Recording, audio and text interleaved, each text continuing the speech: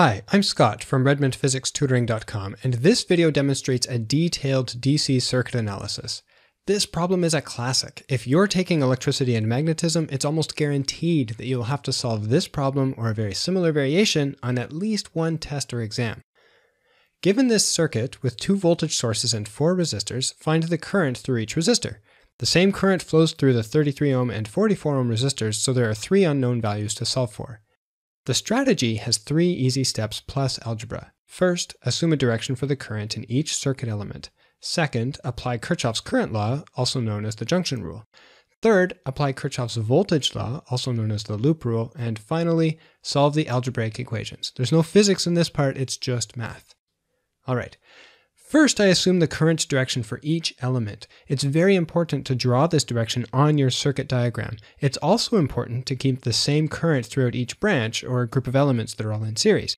I'll start with I1 going to the right through the 11 ohm resistor, and that current must also go through the 9 volt EMF.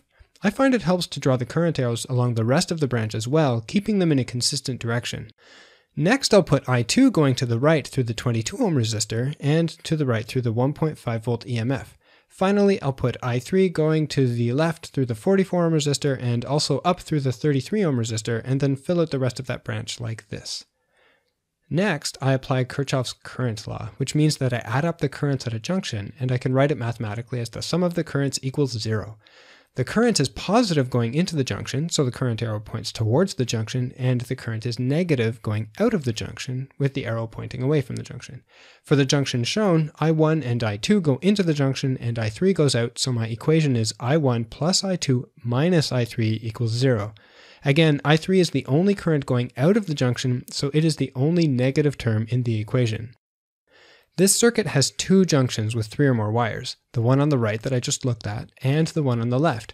There's a rule saying that if there are n junctions, you can only get n minus 1 independent equations, so I can't get any new information to solve for the currents from the junction on the left. A quick check shows this to be true for junction B. I1 and I2 go out, so they're negative, and I3 goes in, so it's positive, and the equation is negative I1 minus I2 plus I3 equals 0. If I multiply that by negative 1, I see that it's exactly the same equation that I just got, and it does not help me solve the problem. Remember, n junctions give n minus 1 useful equations. Next, I apply Kirchhoff's voltage law, which means that I add up the voltage differences around a loop and write it mathematically as the sum of the voltage equals zero. The convention here is a little bit trickier, so you just need to do a few problems to get the hang of it. The idea is to go around the loop in a single direction and add or subtract the voltage as necessary. As you go around the loop, the potential difference is positive when you go from negative to positive, or if you're going against the assumed current direction for a resistor. The potential difference is negative when you go from positive to negative, or if you go with the assumed current direction for a resistor. It's important to draw each loop on your diagram to help keep things straight. It also helps whoever's grading your work to understand what you meant and give you the maximum grades. I'll start my loop at the upper left and go clockwise through the 11 ohm resistor, the 9 volt EMF, then the 1.5 volt EMF, and the 22 ohm resistor, and then I'm back to where I started so I can write the equation. The first element I encounter is the 11 ohm resistor, and I'm going with the assumed current, so I add negative 11 I1 to the equation. Recall that V equals IR for a resistor, and adding voltages, also known as potential differences. Next, I encounter the 9 volt EMF going from negative to positive, so I add positive 9. After that, I reach the 1.5 volt EMF, and I'm going from the positive end to the negative end, so I add negative 1.5 to the equation.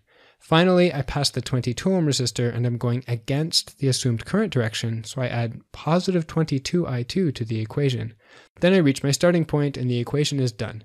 Negative 11i1 plus 9 minus 1.5 plus 22i2 is equal to 0. There's an n minus 1 rule for the voltage law similar to the current law. This circuit actually has three loops the one I just did, another similar one on the bottom, and one that goes all the way around the outside. With n loops, I can get n minus 1 independent equations, which means that I can get one more useful equation from a different loop. I'll choose the small bottom loop, again going clockwise from the upper left. The 22 ohm resistor is first, and the loop is in the direction of I2, so I start the equation with negative 22I2. Then I go from negative to positive across the 1.5 volt EMF, so I add 1.5. Next, I reach the 44 ohm resistor going with the current I3, so I subtract 44 I3 and do the same with the 33 ohm resistor before reaching the starting point. This equation is negative 22i2 plus 1.5 minus 44i3 minus 33i3 is equal to 0. There is a third loop, but the equation from that loop is not independent. If I wrote that equation and tried to solve the three loop equations for the three unknown currents, I would eventually get 0 equals 0 and be unable to solve. Remember, n loops gives n minus 1 useful equations. Now I have three equations and three unknowns. The physics part is done, and all that remains is some algebra to solve for the unknowns. Gauss-Jordan elimination works well for solving these equations, but I'm going to solve them using substitution. I'll speed up the video to save you time. If you'd like, you can pause or slow it down in YouTube by selecting the gear icon, then speed, and choosing your preferred speed. First, I isolate I1 in equation 2. Next, I isolate I3 in equation 3. Then I substitute I1 and I3 into equation 1 and solve for I2. Notice that I2 is negative. The negative sign tells me that the current I2 is actually in the opposite direction to what I guessed on the diagram. I don't need to do the entire problem again though, don't worry. It's enough just to know that the particular current is in the other direction. Then I can substitute the value for I2 back into the expressions for I1 and I3, and I just need to carefully substitute negative 0.202 for I2 to get the right answers for I1 and I3. So my final answers are I1 is 0.278 amps, I2 is 0.202 amps, but it's to the left, and I3 is 0.076 amps. I'm Scott Redmond, and I help students pass physics with one on one tutoring and pay what you want video courses. To check them out, please visit my website at redmondphysicstutoring.com.